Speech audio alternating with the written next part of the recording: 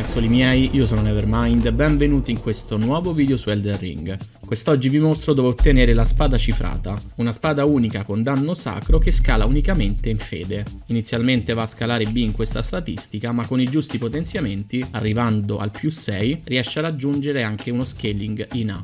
Per ottenere questa spada bisogna arrivare alla capitale Leindel. Partendo ora da questa fonte torniamo nella stradona principale. Dovete adesso proseguire verso la zona che si trova oltre questa scalinata. Se avete già sbloccato la porta lì in alto avete già il percorso libero, se invece avete quel portone ancora chiuso dovete tornare indietro e ripassare dalla fonte. Vi faccio vedere il percorso. Scendiamo questa scalinata, passiamo sulla destra, attenzione a questa zona ragazzi perché è veramente ricca di questi cavalieri che in questa parte del gioco veramente rompono non sapete quanto le scatole. Saliamo sull'ala di questo drago pietrificato, proseguiamo sulla zampa e ci lanciamo qui sotto su questi massi. Saliamo adesso su questa scaletta di legno.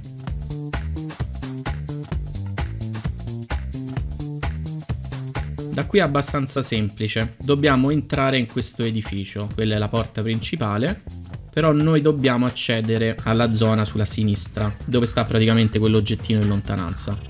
Il nostro obiettivo è scendere pian pianino verso questa parte bassa. Possiamo farlo in diversi modi, utilizzando anche il cotone volendo provo a scendere da questo lato, non dovrei morire dalla caduta, mi raccomando fate attenzione ai nemici. Non prendete l'entrata principale, ma rimanete sulla sinistra. Praticamente dovreste trovare questo ramo dell'albero madre che entra nel terreno e questi piccoli cani.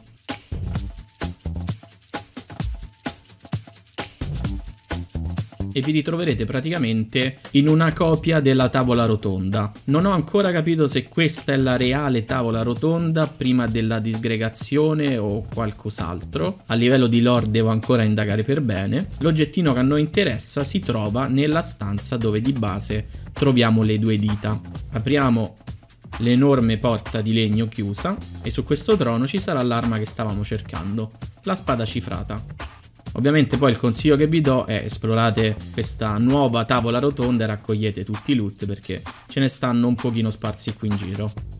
Per quanto riguarda quest'arma la sto provando sul mio personaggio che sto portando in questo periodo in live su Twitch. Tra l'altro mi piacerebbe assolutamente vedervi anche su quella piattaforma e trovate i link in descrizione ragazzi vi ricordo che sono in live ogni sera alle 20.30 perché comunque sia la spada cifrata ragazzi va a scalare unicamente in fede. A livello di moveset si comporta come una semplice spada dritta il design è veramente molto molto bello, ricorda anche il pada cifrato che trovate nella vera e propria tavola rotonda. E a livello di danni si comporta bene, ovviamente fa soltanto danno sacro, non è uno split damage. E potete ovviamente volendo giocare anche, che ne so, con l'amuleto scorpione sacro che aumenta ancora di più i danni di questo attributo.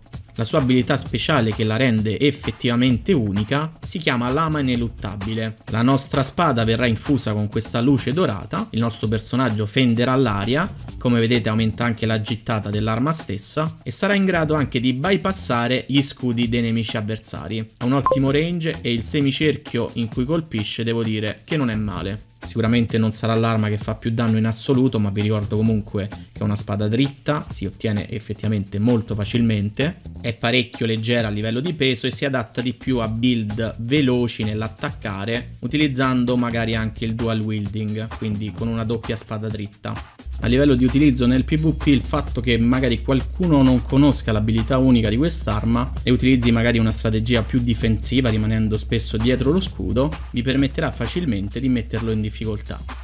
Ragazzuoli miei questo era il video sulla spada cifrata e su come ottenerla, è un'arma molto particolare ed unica e secondo me ad alcuni di voi, soprattutto quelli più improntati sulla build fede, potrebbe interessare. Come al solito ragazzuoli miei io spero di esservi stato d'aiuto, in tal caso magari lasciate un like e iscrivetevi a questo canale per altri contenuti di questo tipo, vi invito anche a passare sui vari social, Telegram, Discord, tutti linkati in descrizione, tutti spoiler free nel caso abbiate bisogno di un consiglio, di una mano sempre riguardo Elden Ring. Io ero Nevermind Mind, vi ringrazio dell'attenzione, al prossimo video, ciao ciao!